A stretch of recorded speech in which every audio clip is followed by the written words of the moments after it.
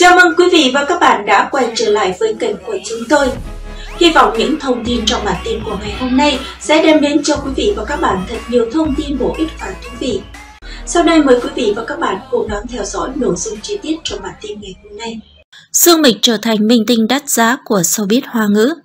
Nữ diễn viên vượt mặt nhiều nghệ sĩ tên tuổi để dẫn đầu hai danh sách ngôi sao có giá trị kinh doanh cao nhất và ngôi sao có tầm ảnh hưởng nhất showbiz hoa ngữ. Vào ngày 21 tháng 4, Sina đưa tin bảng xếp hạng giá trị thương mại của nghệ sĩ hoa ngữ trong 3 tháng đầu năm 2021 được công bố. Dương Mịch là minh tinh đứng đầu ở cả hai danh sách ngôi sao có giá trị kinh doanh cao nhất và ngôi sao có tầm ảnh hưởng nhất showbiz. Ở bảng xếp hạng ngôi sao có giá trị kinh doanh cao nhất, nữ diễn viên với chỉ số 91,84 đã vượt mặt hai đàn em là Địch Lệ Nhiệt Ba và Dương Tử, giành vị trí dẫn đầu. Cô hiện là người đại diện của hơn chục thương hiệu nổi tiếng trên thế giới như Estee Lauder, Michel Kors, Piaget, Versace, Adidas.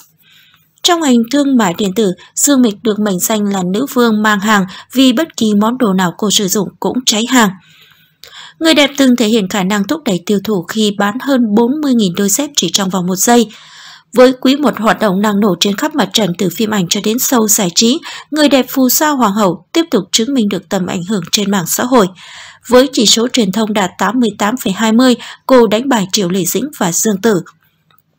Theo trang Soho, thành tích trên giúp Dương Mịch trở thành minh tinh đắt giá của showbiz hoa ngữ.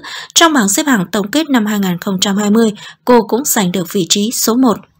Dương Mịch đi theo con đường nghệ sĩ toàn năng, cô phát triển cả mảng nghệ thuật gồm điện ảnh, thời trang, ca nhạc cho đến việc hướng bản thân trở thành doanh nhân thành đạt.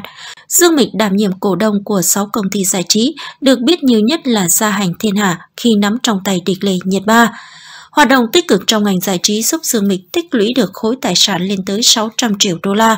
Theo trang Sina, với địa vị ngôi sao hạng A, nữ diễn viên tham gia một tập phim có thể nhận từ 800.000 đến 1 triệu nhân dân tệ.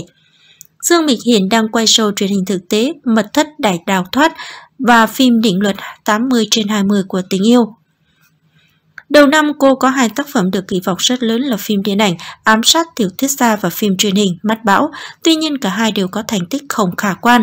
Dương Mịch bị chê bài yếu kém về diễn xuất và đài từ.